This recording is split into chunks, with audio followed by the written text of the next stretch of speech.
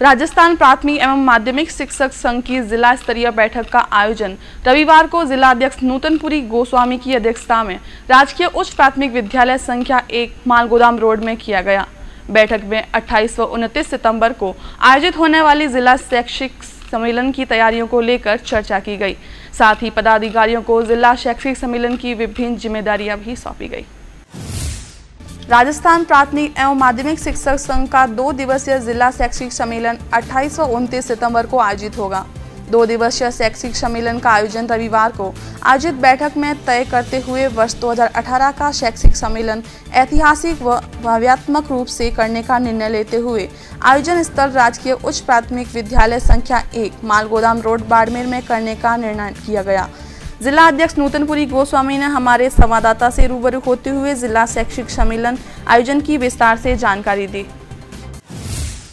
राजस्थान प्राथमिक एवं माध्यमिक शिक्षक संघ का दो दिवसीय जिला स्तरीय शैक्षिक सम्मेलन आगामी 28 व उनतीस सितंबर को आयोजित किया जा रहा है। इस सम्मेलन की तैयारियों के लिए कि आज चर्चा बैठक आयोजित की गई। संगठन का दो दिवसीय जिला स्तरीय सम्मेलन इस वर्ष राजकीय उच्च प्राथमिक विद्यालय संख्या एक मालगोदाम रोड बाड़मेर पर आयोजित होगा।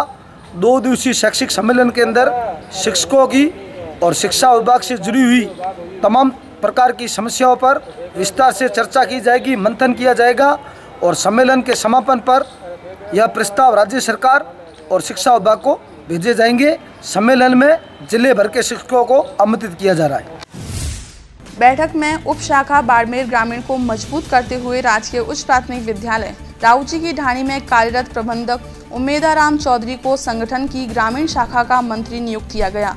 नवनियुक्त ग्रामीण मंत्री का संगठन के वरिष्ठ पदाधिकारियों की ओर से माला पहनाकर स्वागत किया गया।